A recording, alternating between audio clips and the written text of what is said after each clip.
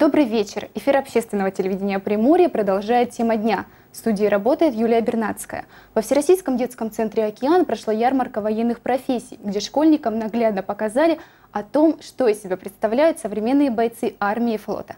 О том, как прошла эта ярмарка, сегодня поговорим с ее организатором Сергеем Ефремовым, представителем общественной организации «Контингент». Сергей, здравствуйте. Здравствуйте.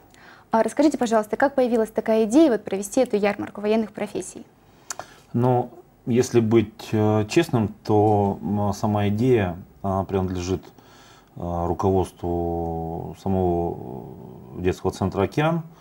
Вот. Если прям о конкретике говорить, то мы проводили э, зорницу в пионерском лагере Юнга, военные игры. С нами вместе участвовала 83-я десантно-штурмовая бригада. И буквально там на следующий день мне позвонили с, с океана и попросили оказать содействие в организации э, ярмарки военных профессий. То есть, по большому счету, идея принадлежала им. А, мы согласовали наше участие, а, то есть, что нам нужно было сделать, и мы совместно провели это мероприятие. Но я скажу так, авторство за этим мероприятием все-таки принадлежит э, самому э, детскому центру «Океан». Вот. Проделали работу достаточно большую, согласовали, и я думаю, что, наверное, у нас все получилось. Какие спецподразделения приняли участие в мероприятии? Значит, в самой ярмарке принял участие наш СОБР, а, значит, пограничники, морская пехота, десантники 83-я десантно-штурмовая бригада и э, сотрудники МЧС, огнеборцы. Как удалось привлечь их к этому? Ну, по большому счету, э, Всероссийский детский центр «Океан» это достаточно ну, крупная и масштабная Э, э, масштабная организация, и э, я думаю, что написать письма, отправить запросы, согласовать с командованием, сложного ничего нет. Мы в этом помогли, мы согласовали с 83-й бригадой, потому что мы с командиром бригады «Однокашники», с морской пехотой и с, пригласили ансамбль песни и пляски Тихоокеанского флота. Вот, то есть свою часть мы выполнили, они договаривались с пограничниками, с СОБРом и с сотрудниками МЧС. Ну вот, насколько мне известно, на мероприятии э, подростки могли обучиться управлению вот настоящей боевой машиной. Э, вот что у подростка вызвало вот наибольший интерес? Ну, вы знаете, на самом деле, э, помимо того, что каждое, каждое подразделение презентировало да, свою работу. Естественно, там была организована выставка оружия. В частности, был выставлен на общее обозрение наш БТР-80, который стоит на вооружении вооруженных силах. А, значит, новая машина «Тигр». А, я, к великому сожалению, сам ее первый раз увидел, потому что больше лицезрел по телевизору. Это новая машина. Вот. А, наши огнеборцы показали технику, которую они применяют при пожаротушении. Вот. Десантники показали парашютные системы. Вот. Естественно, никто ребят там особо за руль не садил и не давал им ездить. Вот. Но полазить по машинам, поддергать за ручки, покрутить а, и вообще воочию убедиться, ну, воочию пощупать машину, да, а, у них такая возможность была. Вот.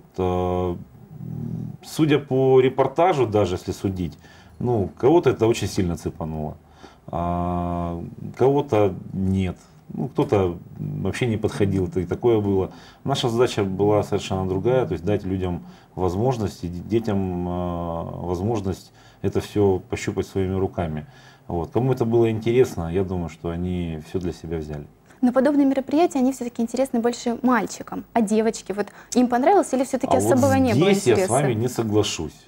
А, очень много девочек, а, знаете, с удовольствием смотрели на технику, сами по ней лазили, и очень много девчонок подходило именно к парашютным системам.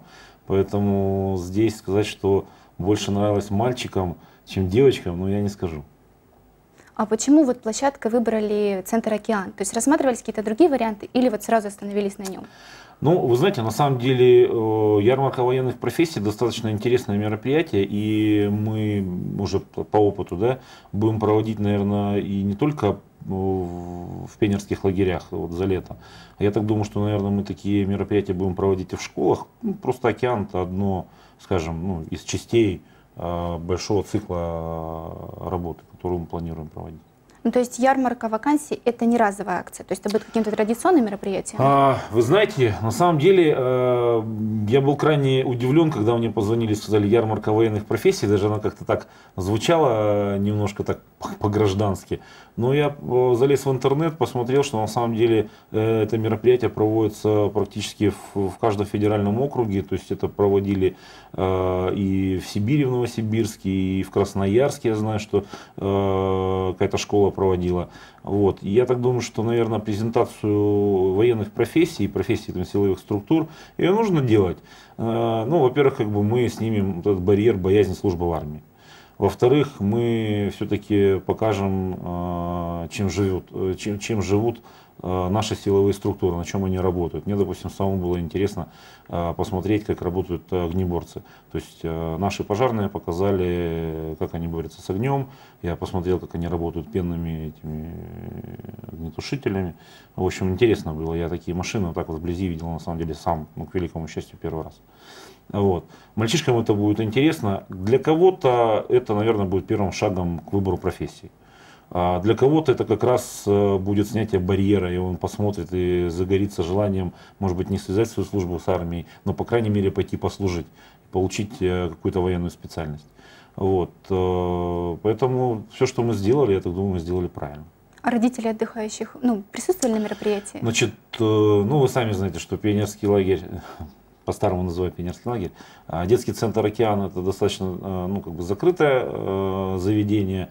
Ну и плюс к тому, что здесь э, присутствуют дети, наверное, не только с Приморского края, а со всей нашей большой страны. И взрослых на самом деле было немного, но и по большому счету целевая аудитория это были все-таки дети. Поэтому мы работали на них. Вот. И я хочу сказать, что мне было приятно, что в той работе, которую мы проводим по военно-патриотическому воспитанию нашей общественной организации, участвует много людей, просто как бы сами по себе. И я понял, что объединившись, мы можем сделать достаточно крупные масштабные мероприятия. Вот показатель. А расскажите еще, пожалуйста, какие еще планируются вот мероприятия для патриотического воспитания молодежи? А, значит, ну, у нас наша организация вообще запланированные мероприятия, они как бы ежегодные и, как правило, они уже традиционные. У нас э, сентябрь месяц, мы э, занимаемся э, Днем открытых дверей в Суворовском училище. Но это не просто День открытых дверей, это достаточно ну, такое масштабное действие. То есть мы оповещаем всех будущих кандидатов, в частности тех, кто учится в четвертом классе, о том, что планируется мероприятие в Суворовском училище. Они с родителями, с бабушками, дедушками, там, э, с папой, мамой э, садятся в автобус, мы колонны в сопровождении ГАИ выезжаем в Суворовское училище, где они полностью проводят целый день э, в нашем училище и смотрят, как живут суворовцы. Кто-то определяется, что да, я буду поступать, кто-то посмотрит говорит, ну, господи, не хотел, слава богу. Вот. Ну, наша задача людям дать возможность увидеть все своими глазами, а главное детям а, самим принять решение связать свою службу в, в армии. Это вот у нас одно из самых масштабных мероприятий, которые проводим ежегодно на протяжении уже нескольких лет. Я являюсь председателем попечительского совета Суворовского училища, поэтому с начальником училища мы это проводим ежегодно, независимо от, от не знаю, там, от, от обстановки. Вот, э, значит, у нас проводится акция «Чистый обелиск». Мы ее проводим в апреле месяце, в преддверии э, празднования 9 мая. То есть мы делим полностью все памятники, которые находятся в городе Владивостоке, э, распределяем по там, школам, да, то есть, допустим, я там в основном отвечаю за наш памятник, который находится возле кинотеатра «Иллюзион», и за морским э, кладбищем, где э, стоят постаменты наших героев Советского Союза и ветеранов Великой Отечественной войны. Вот. Акция «Чистый обелиск» проходит у нас тоже ежегодно, это в апреле месяце. Вот. Ну, я здесь не беру мероприятия, которые у нас приурочены к 16 ноября, это День морской пехоты, потому что это ежегодный праздник, к которому мы готовимся. 2 а, августа это тоже наш э, праздник, я выпускник десантного училища, для меня это мой личный праздник, и мы, нашей организации, очень плотно работаем с Союзом десантников, поэтому а, в течение года очень много работы по военно-патриотическому воспитанию, вот, и мы ее проводили, проводим и будем проводить ну, вместе с, с нашим государством, с нашими федеральными программами, которых на самом деле не так много. Сергей Викторович, спасибо вам большое за такие развернутые ответы, за то, что нашли время прийти к нам. А наш эфир подходит к концу. До встречи и увидимся на общественном телевидении Приморья.